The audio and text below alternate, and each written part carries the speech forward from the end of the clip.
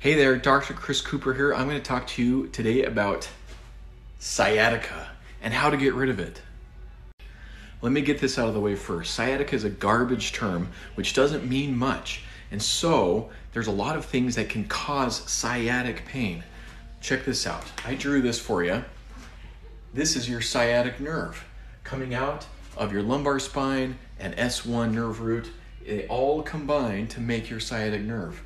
Now, the pain can come from a lot of different spots. If the pain is coming from your lumbar nerve roots, it might be a disc. That's called radiculopathy. If your piriformis muscle is pinching on the nerve, that could be called piriformis syndrome. Pain coming from your SI joint can also refer pain down the leg into the butt. You can also have a trigger point in your piriformis muscle that refers pain down the butt. We're going to go over all the solutions. Follow me to watch along. Hey there, Dr. Chris Cooper here. This is part two of the sciatica series. Specifically, we're going to talk about sacroiliac joint dysfunction. So, when you have SI joint dysfunction, you feel the pain here radiating down your leg. One of the key things with SI joint dysfunction is the pain never goes below the knee. It's always dull, it's always achy, it's always deep. One of the best things you could do for SI joint dysfunction is adjust the joint right here. We have to make sure it's even. We have to make sure it moves the same on both sides. An adjustment might look like this. I think one of the craziest things about SI joint dysfunction is it honestly can be that easy. An adjustment can make you stand up, you feel better, you move better, the pain goes away. Nobody deserves to suffer. Share this with someone who needs it. Take it easy. Hey there, Dr. Chris Cooper here. I'm going to talk about part three of my sciatica series. Today we're going to talk about piriformis syndrome. The piriformis is a muscle that attaches from the lateral border of the sacrum over to the femur.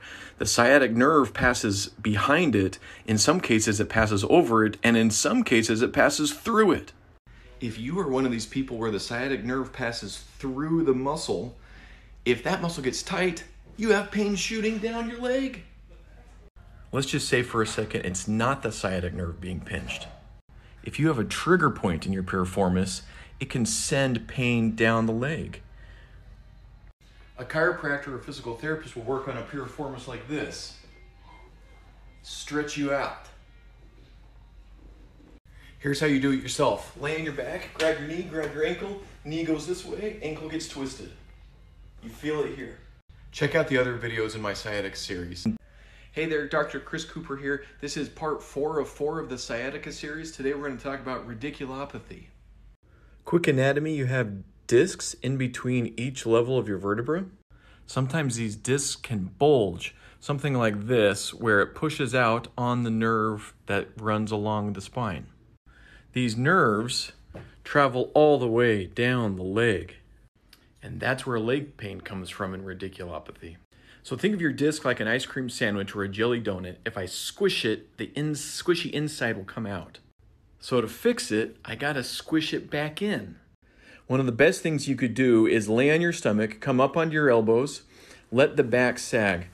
If this is comfortable, come up onto your hands. Keep that back sagging.